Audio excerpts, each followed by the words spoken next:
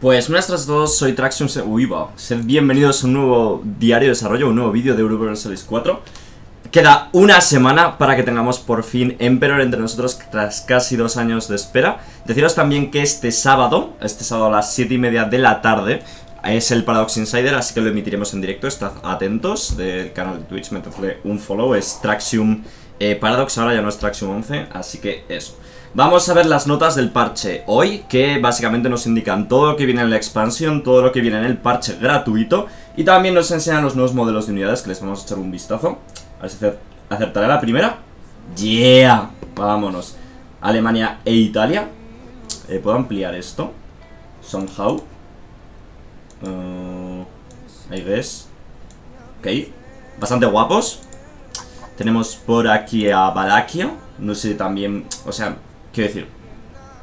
No soy yo la persona más economicista del mundo, probablemente, ¿no? Pero tampoco sé hasta qué punto era necesario meterle unidades a Valaquia. Pero bueno, ahí están, ¿sabes?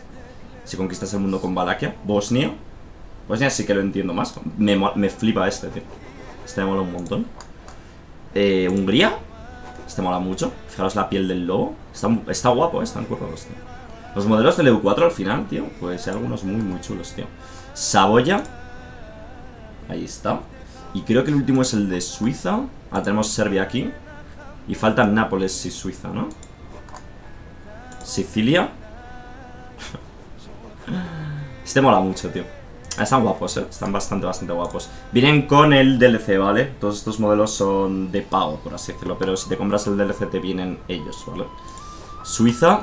Y ahí están todos. En fin, vamos con el listado del contenido, como hacemos siempre. No voy a meter a ver al detalle todo el parche, pero bueno, yo creo que lo importante es eh, cosas de la expansión, cosas que van a venir con el DLC de 20 pavos de Emperor, que por cierto está en la descripción en Instant Gaming más barato, si le queréis echar un vistazo. En primer lugar, añadidas las bulas doradas, eh, que permite que el eh, controlador de la curia afecte a la fe entera, es decir, bonus para el catolicismo de parte del controlador de la curia, está bastante guapo. El papá puede poner cardenales en otros países a voluntad, eso está guay también. La fe católica puede recolectar diezmos de sus adherentes para gastárselos en cositas para, para el papa. Nuevas mecánicas del concilio de Trento que deja a los católicos... Eh, eh, como, o sea, como enfocar la reforma, es decir, como tomar una eh, una aproximación más dura o más conciliadora respecto a la reforma, ¿vale? Incidentes imperiales para el Sacro Imperio Romano que harán que Europa Central se sienta más viva y dinámica. Esto está guay, aunque molaría que hubiera sido parte del parche, en verdad, pero bueno, por algo nos tienen que cobrar la expansión, ¿no? Dos caminos para las reformas imperiales del Sacro Imperio Romano, centralizado y descentralizado también es parte de pago. Las mecánicas de hegemonía, que a ver qué tal han llegado, tengo muchas ganas de verlas, esto no sabremos qué tal hasta que hayamos jugado una partida entera probablemente. Podemos introducir un nuevo heredero si no tienes ninguno en una monarquía. Esto creo que nos había enseñado, ¿no? No sé. A mí no me suena, ¿no? Introducir un No, sí, sí, sí que, sí que me suena, que era como presentar un heredero y tal, pero no me acuerdo cuándo lo anunciaron. 10 nuevos eventos del Defensor de la Fe que nos van a salir pues cuando seamos eh, defensores de la fe, incluido yihads para las eh, para los musulmanes por las ciudades santas y oportunidades para los católicos para reparar las relaciones con los rivales. Interesante. 13 nuevos eventos del diezmo papal y la, el tesoro de la curia. ¿Vale? Aspectos de la fe usita para Bohemia. Eh, una nueva, un nuevo sistema de reformas para el ejército negro que creo que es para Hungría y que va a estar disponible también para aquellos que tengan Dharma. Eh, un nuevo tipo de gobierno que es el Estado satélite revolucionario que pueden imponerlo los eh, aquel país que es el objetivo de la revolución, aquel país que es la que tiene la revolución, puede imponer ese gobierno en otros países. Añadidos incidentes imperiales que hacen que esté la guerra de las ligas cuando la mayoría de, los, de las provincias del Sacro Imperio están bajo en manos de, de príncipes del imperio, forzando al emperador a responder. Añadidos nuevos eventos que añaden sabor a la expansión de las ideas revolucionarias en Europa y en las colonias. Añadido o mejorado el árbol de misiones para Francia, añadido un árbol de misiones para Brandenburgo y Prusia, añadido un árbol de misiones para Alemania y el Sacro Imperio Romano, añadido un árbol de misiones para Provenza, para Suiza, para los Estados Cruzados, que son los caballeros Epiro, Chipre, Atenas y Jerusalén, añadido misiones para Nápoles y dos Sicilias, añadido misiones para Bohemia, añadido misiones para el Papado. Las ideas de la revolución ahora se expanden a otras provincias, un poco como le pasa a la, a la reforma protestante. Se permite apoyar o oponerse a, los revolucionarios y, ver los desastres que, sufren eh, los países revolucionarios. Los jugadores van a poder provocar a los rebeldes para rebelarse eh, con bastante fuerza extra a los rebeldes. El fervor revolucionario reemplaza las mecánicas del absolutismo para aquellos países revolucionarios. Eh, es que son un huevo de cosas, tío, en verdad he añadido la eh, unidad especial de la Guardia Revolucionaria para los países revolucionarios. Los países revolucionarios ahora pueden tomar la antorcha de la revolución del, objetivo de la revolución, es decir, quitar como que seas el líder de la revolución. Podemos eh, declinar la Liga Hanseática como un incidente, añadido un incidente que es el rey en Prusia, añadido un incidente de que una unión personal de un vasallo se une al Sacro Imperio, o algo así. Otro incidente es el del papado y el imperio, otro incidente es la cuestión de Holstein, otro incidente es Suiza y el imperio, otro incidente es la herencia de Borgoña, la herencia de Borgoña, eh, Borgoña también se puede unir al imperio, 21 misiones nuevas para Lübeck, añadidos tratados de paz para expandir la revolución, añadido un árbol de misiones para Sajonia con 16 misiones, añadido un árbol de misiones para Saboya, añadido un árbol de misiones para Génova, añadidos eh, las agendas de los estados al juego. Esto sí que me sorprende que no esté en el juego base, la verdad. Pero bueno. Pero, o sea, en el parche quiero decir. Añadido o expandido el árbol de misiones de Bavaria. Añadido un árbol de misiones para Milán. Añadido un árbol de misiones para Hungría. Añadidos eventos del siglo XVIII con las guerras de las flores añade un árbol de misiones para Países Bajos, para Austria, para Serbia, para Florencia, para Italia, para Génova, para Venecia, para Borgoña y para Provenza. Todo esto, chavales, con el DLC de pago. Muchas son árboles de misiones, está claro que son en Europa, pero coño, trabajazo, ¿eh? Y, eh, como he dicho muchas veces, el DLC es solo parte de lo que se viene con esta actualización. Buena parte de los cambios vienen con el parche gratuito. Vamos allá, parche 1.30 que se llama Austria, ¿vale? El Jackson creo que han dicho que es, el, es 1076. Eh, ah, no, que tiene 1076 entradas el, cam, el parche. Bueno, vamos a intentar leer solo lo importante, ¿vale? Características gratuitas. Se ha rehecho el sistema de mercenarios. Totalmente. Ahora funciona un poco como en el Crusader Kings, más o menos, aunque van apareciendo de forma procedural. Pero bueno, los eh, mercenarios no tienen que ver nada con lo que había antes. Se ha rehecho el sistema de los estados, tampoco tiene nada que ver como, como iba antes. Miraros el vídeo de los estados porque eso va a ser una absoluta locura para los nuevos jugadores. Se ha eliminado la corrupción de los territorios y se ha, hecho, se ha creado una nueva mecánica que se llama capacidad de gobierno. Los estados, los territorios comerciales y los territorios tienen distintos pesos en esta capacidad de gobierno y nuestro país podrá más o menos gestionarla, ¿no? Añade una mecánica de administración que te permite eh, gastar progreso de reforma para incrementar la capacidad de gobierno. Interesante esto, que le den más utilidad al progreso de, reforma de gobierno, ¿no? Que vamos a poder hacer más cositas con esto. Y bueno, cambios de calidad de vida, tío, absoluta locura. Es, es que esto va a hacer que el EU sea tal gozada a la hora de jugar que vamos a flipar, tío. O sea, suave como la seda, tío. En fin, añadido un indicador de quién te ve como rival cuando escoges un rival. Añadido, añadido una nueva opción para permitir a la persona que, cambie de país múltiples veces, eh, aunque claro que te desactiva los logos.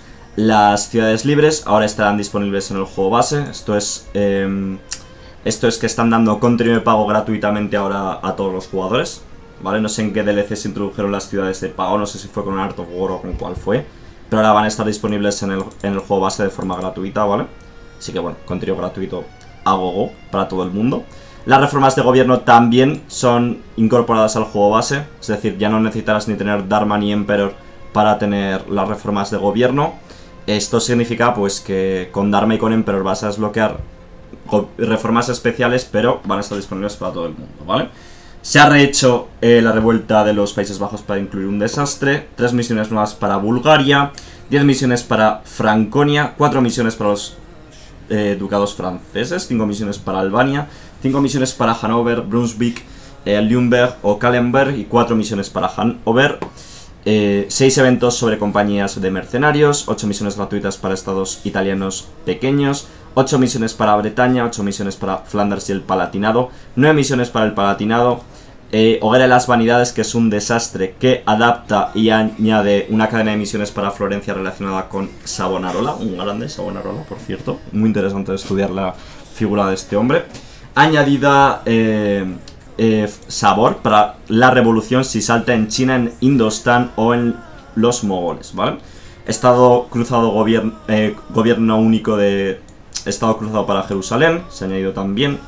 Un desastre de la República Ambrosia Dorada para Milán, que incorpora los eventos existentes, así como nuevos eventos, así como eventos sobre el alzamiento de los Esforza y una potencial dictadura. Se ha añadido la religión usita, así como eventos especiales, esto gratuitamente, o sea que guay. Añadidas las eh, eventos de las guerras italianas, que bueno, pues van a durar un tiempo y va a haber cositas. Nuevo gobierno de estratocracia junkeriana, disponible para Prusia si se convierte en una república. Básicamente los generales son gobernantes.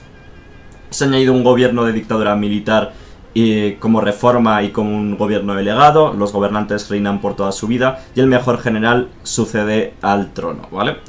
Ha añadido un evento de la conspiración Pachi para Florencia y para Toscana. Se ha añadido una reforma de gobierno llamada parlamentario, Parlamento de Protectorado y un gobierno delegado para la Commonwealth inglesa bajo Cromwell. Se ha añadido una reforma de gobierno de señoría disponible para las repúblicas italianas como Florencia, Bolonia y Pisa, que empezarán con esta eh, reforma y permite a los eh, candidatos dinásticos en las elecciones eh, sin ningún tipo de penalización a los bonus de, habilidad monárquica. Y también permite la, el matrimonio real, ¿vale? Nuevo árbol de misiones para Suabia, que permite formar Suabia también. Nueva cadena de eventos relacionado con la herencia del trono napolitano en el siglo XV. Eh, nuevos. Una reforma de gobierno para Austria. Perdón.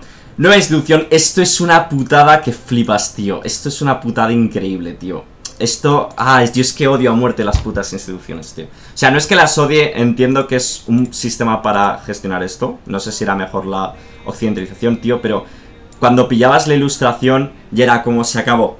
Ya no tengo que pillar más eh, más instituciones en lo que queda de siglo. Y ahora meten otra puta institución, tío, que es la industrialización y me voy a cagar en todo. No sé qué bonus da, no lo dicen.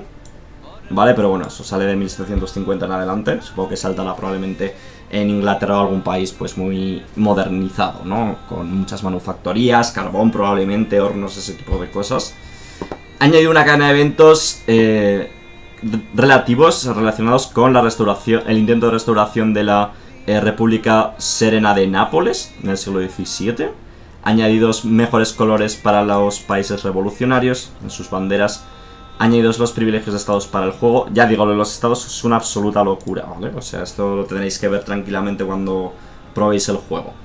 Eh, añadidos eventos para Francia que hacen que aparezca el ducado de Alençon para, tras de conquistar la provincia. Añadido un árbol de misiones para Croacia y Ragusa. Añadida misiones para Dismarsen. Romper las cadenas. Son misiones muy comunistas. O sea, si a alguno le hace especial ilusión jugar con comunistas en el EU4, pues que pruebe Dismarsen, que está bastante guapo.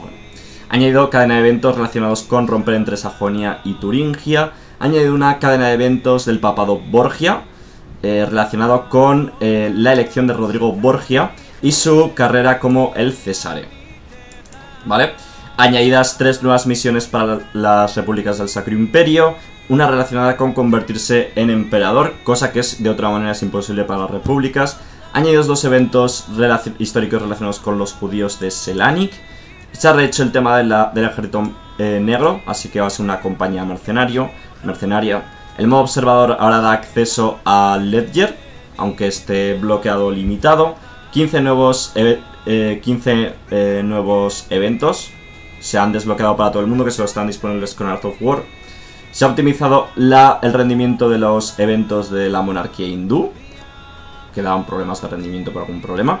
Se han añadido nuevas eh, interacciones de vasallo para todos aquellos que tengan Golden Century para bloquear o permitir a los vasallos tener crecimiento colonial. No sé por qué dan esto con Golden Century, no con eh, Conquest of Paradise.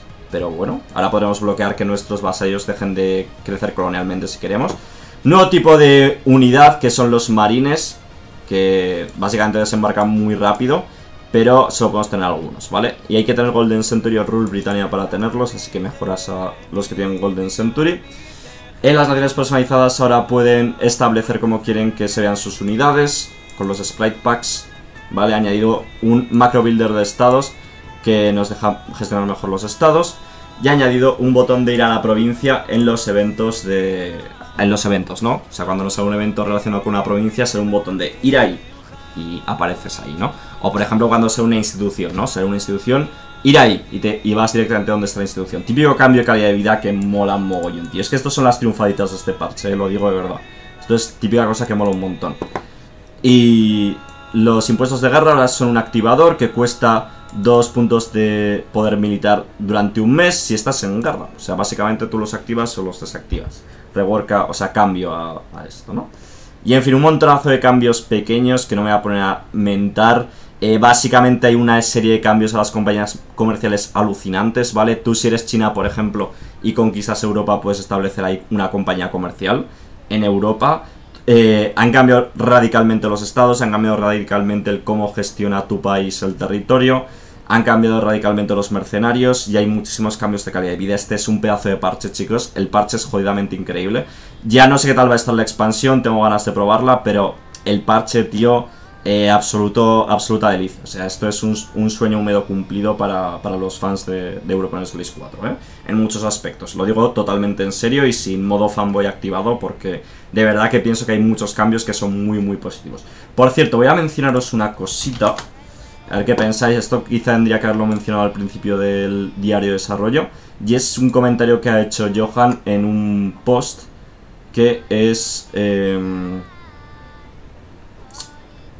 no lo voy a encontrar ahora, ¿no? Aquí el futuro de EU4 tras Emperor ha dicho Johan que tienen proyecto de seguir expandiendo EU4 tras Emperor. No significa concretamente que vayan a hacer más DLCs, puede simplemente que, hayan, que hagan parches o cualquier parida, ¿vale? O sea, es una respuesta muy ambigua, pero lo que sí que nos dice es que Europa Universalis 4 no acaba con Emperor, en cualquier caso veremos algo más del juego. No sé realmente si será un parche gratuito estilo eh, Iron Century para Cruiser Kings 2, no sé si será más DLCs, pero bueno, una respuesta ambigua, como lo podríamos esperar de un desarrollador de otra forma, ¿no?